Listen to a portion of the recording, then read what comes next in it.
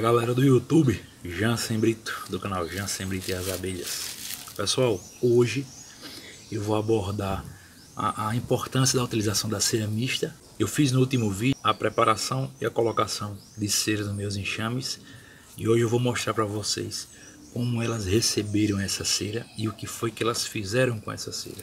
Mas antes, eu queria deixar um recado para você de Santa Catarina.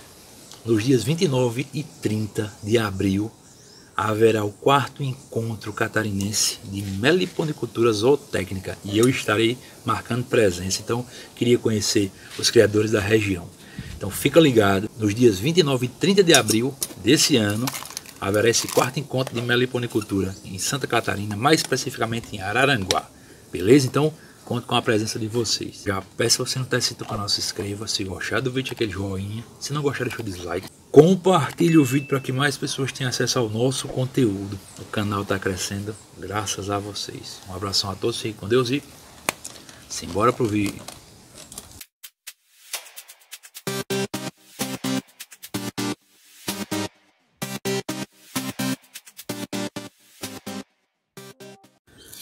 Aqui está a cera mista, né? um bloco. Essa cera eu faço com cera de ápice na proporção de 70%, cera de melíponas 30% e coloco também alguns óleos vegetais, beleza? Então é esse material que eu forneço e o resultado que eu tenho nos enxames é sensacional.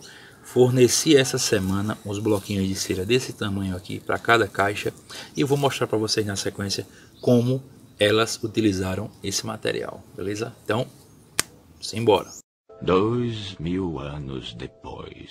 Vamos olhar esse primeiro enxame aqui. Eu coloquei cera. Dá pra ver, galera, pela cor da cera, que elas já utilizaram basicamente todo o bloquinho que eu coloquei. Ó. Essa cera mais clara aqui, ó, a rainha bonitona aqui. Essa cera mais clara foi exatamente a cera que elas utilizaram. Então elas construíram aqui ó, potes de alimento, invólucro e essa cera mais escura é a cera antiga delas. Então vou abrir aqui rapidinho. Olha que enxame sensacional. Dá para perceber a cor da cera clássica. Uma praga de uma traça aqui. Lascou-se. Olha isso aqui. Essa cera mais clara aqui, ó, esse pote de alimento foi feito com a cera que eu forneci. Olha que show. Mais um enxame aqui que eu forneci cera. Esse chama a divisão, não está tão forte, mas elas estão utilizando também aqui, ó. Estão raspando a cera aqui e estão utilizando. Esse enxame aqui, basicamente já detonou a cera quase toda, ó. ó a cera aqui, ó, que sobrou aquele bloquinho. Dá para ver que elas utilizaram aqui, ó. Ó, invólucro. Percebam que a cor da cera delas mesma é escura e a cor do invólucro é uma cera mais clara, mostrando que realmente elas utilizaram isso aí. Mais um enxame aqui que eu forneci cera.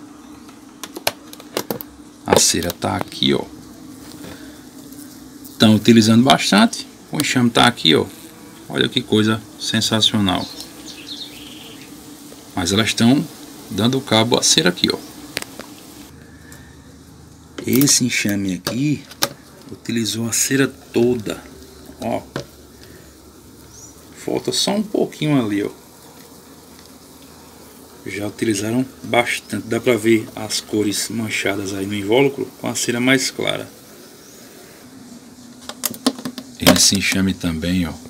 Olha como tá bonito aqui, ó. A rainha e aqui, ó. As abelhas estão utilizando a cera aqui, ó. Show de bola. Agora quem me surpreendeu foi essa mandaçaia aqui, ó. Olha como elas usaram a cera, galera. Olha isso aqui. Elas praticamente acabaram aqui com a cera, ó. E toda a estrutura do ninho foi construída com essa cera nova, ó. O invólucro bem mais claro. Olha a cor dos potes de alimento dela. A cera é essa daqui, escura, e olha como está a estrutura do ninho. Com a cera que eu forneci. Mais um enxame aqui, ó, que utilizou bastante a cera, dá pra ver a cera aqui. A estrutura do ninho ali, a rainha passando ali embaixo. Usaram bastante também a cera fornecida, ó. Show de bola.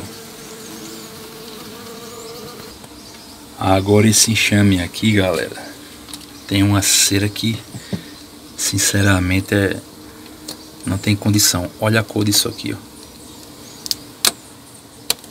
Olha a cor disso aqui, galera. Olha que enxame sensacional.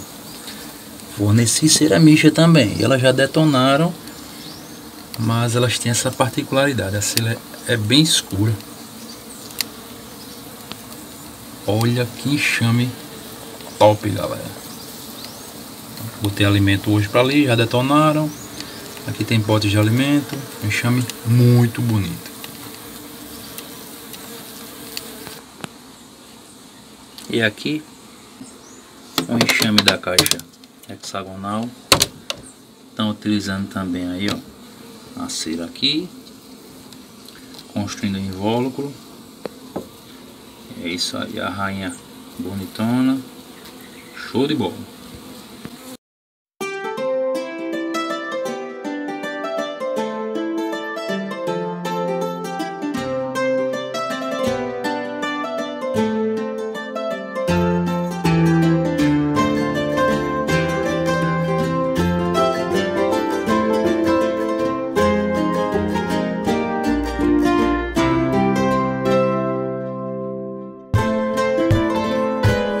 Então é isso aí, pessoal. A cera é de extrema importância para o enxame. As abelhas utilizam como material de construção, economizam, porque para produzir um quilo de cera, elas utilizam em média de 6 a 7 quilos de mel.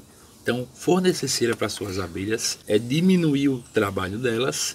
E se você pensa em multiplicação, não tem como alinhar a multiplicação ao não oferecimento de cera. Forneça cera para os seus enxames e você vai ver o resultado, beleza? Então, mais uma vez, lembrando, dia 29 e 30 de abril deste ano, estarei em Araranguá, Santa Catarina, para o quarto encontro de meliponicultura zootécnica, beleza? Um abração a todos, fiquem com Deus e até o próximo vídeo.